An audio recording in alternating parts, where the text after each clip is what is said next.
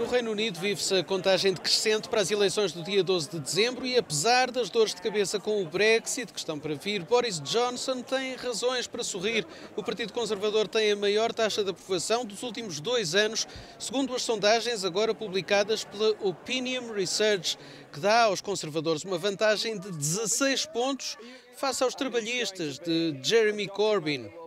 Do lado trabalhista, espera-se para esta quinta-feira a publicação do manifesto eleitoral que esteve a ser discutido durante o fim de semana em Londres, numa reunião que envolveu a direção do partido, os sindicatos e o governo Sombra.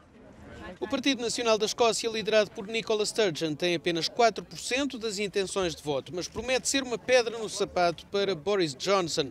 Sturgeon esteve em campanha nas poucas comunidades escocesas a favor do Brexit. Quanto aos liberais-democratas de Joe Swinson, fortemente opositores do Brexit, a sondagem da Opinion dá-lhes 14% das intenções de voto.